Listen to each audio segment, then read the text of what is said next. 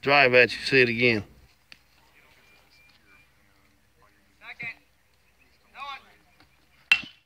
You.